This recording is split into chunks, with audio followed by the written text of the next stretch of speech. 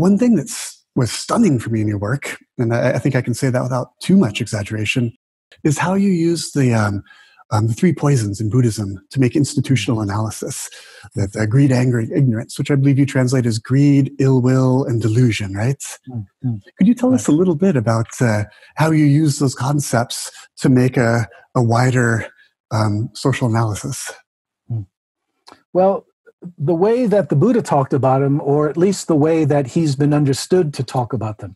And I have to make that distinction because when you go back to the earliest text, when I read them, it suggests to me that the Buddha, Shakyamuni, the historical Buddha, who lived in India maybe 2,400 years ago, I get the sense he was a lot more progressive than the institution that developed after he died. Okay, and this is kind of typical of religious institutions, isn't it? But if you look at his attitude toward women, he created the Bhikkhuni Sangha for nuns. His attitude toward caste, the way that when you joined uh, the order, you lost caste. I mean, he he he saw something more. But then the way the institution developed, they tended to understand it. Buddhism tended to understand our own dukkha, suffering in the broad sense, as due solely to our own minds and our own karma, our own actions in past. So, Buddha and Buddhism doesn't talk about good versus evil in the Abrahamic sense. Rather, what it does is the Buddha says basically, if what you do is motivated by greed, ill will, or delusion, it's going to create problems. Right? But again, it was traditionally has been understood very much on the individual level. And fortunately, because Buddhism from the very beginning emphasizes impermanence and insubstantiality and is itself a good example of that given the way that it's spread you know, from India to Southeast Asia to East Asia to Central Asia and now to the West, uh, Buddhism has the potential to develop in response to new situations and coming now not just to the modern West, but sort of modernity or postmodernity are now global civilization. I think it's very clear one of the challenges is that we have to ask ourselves given what we know now about the way institutions work, how they can cause suffering, what uh, what how do we need to re-understand those fundamental Buddhist principles? So, very briefly, I think our economic system is really institutionalized greed. If you understand greed in the sense of you never have enough, well, that certainly applies to a lot of consumerism but even more so, if you think about corporations, how they're never profitable enough, their market share is never big enough, their stock price is never big enough, national GDP, GNP is never big enough. You know, why is war more and more always better if it can never be enough? It's this preoccupation with growth, which seems, which is now it's pretty crazy, given that you know we're on a planet whose biosphere is not growing. And I think a lot of the ecological crisis can be understood as the kind of clash between an economic system that has to keep growing if it's not going to collapse and basically a biosphere that can't essentially grow.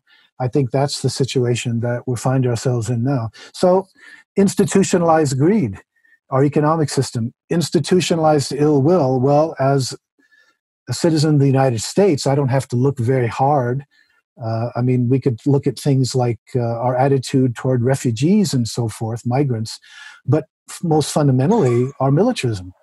I mean, if you measure our military by the amount of resources we put into it, you know, this country is by far the most militarized in, in, in world history.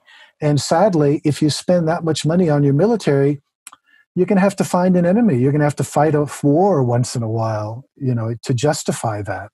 And it seems to me that's the kind of trap we're into. You know, we we create enemies uh, in, in various ways, and in a way, the whole military industrial system seems to need them.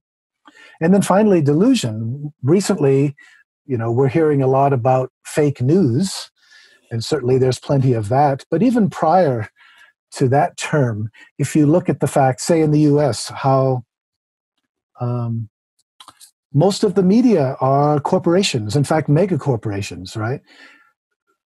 Corporations, they exist not to educate or inform us, but to make money. And how do they make money? They find ways to grab our eyeballs and sell them to the highest bidder. So they reinforce consumerism. They, they'll reinforce certain habits that will make people want to watch them.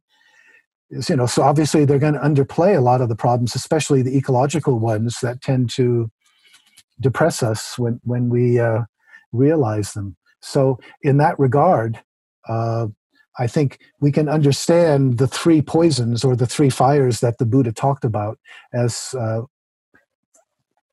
principles, fundamental problems that I think we now need to understand much more broadly than in his day. And that means we have to also find ways to address them. Not, not just look to our own minds and how they work to resolve our own dukkha, but to look at the way that uh, the dukkha is functioning institutionally I mean, one thing I like to say is I think socially engaged Buddhism in the US, uh, when it comes to individual service, maybe helping homeless people or hospice work or prison dharma, I think we've become a lot better over the last generation. We've become a lot better pulling drowning people out of the river. But we're still not much better in asking why is it that there are so many more people drowning in the river these days? At a certain point, we have to ask that question. Yeah.